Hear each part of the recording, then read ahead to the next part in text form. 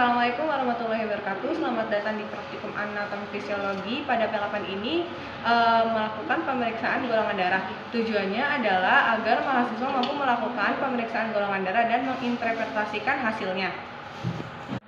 Bahan-bahan yang digunakan adalah ada anti serum anti A, kemudian ada anti B, kemudian ada penset, lancet sebagai jarumnya, kemudian ada objek glass, lalu ada kapas, dan ada alkohol 70%. Tahap pertama, eh, siapkan penset, kemudian lancetnya dibuka ujungnya, masukkan lancet ke dalam penset,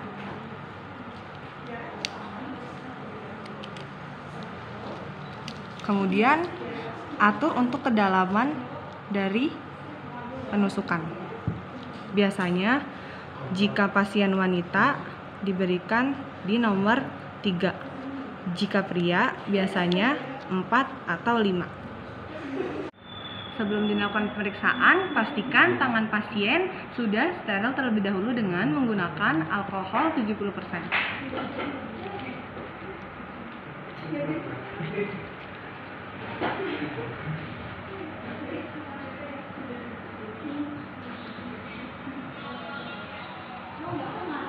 Pijat bagian jari agar darah yang dikeluarkan banyak.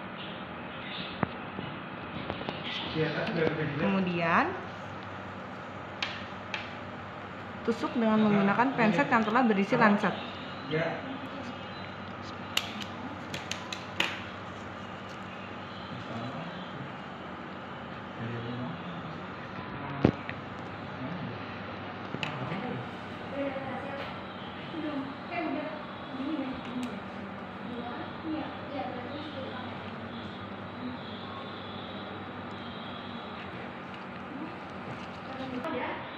Setelah didapatkan sampel, kemudian diteteskan dengan antiregen A dan antiregen B satu persatu.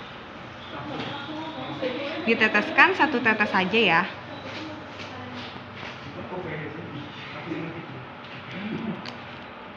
Kemudian dilanjut pada anti B.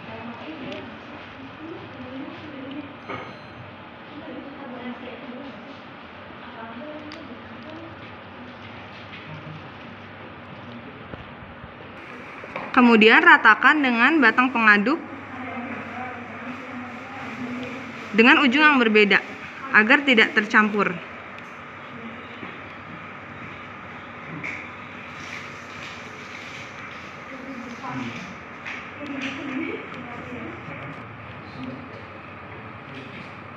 Tunggu hingga terjadi aglutinasi.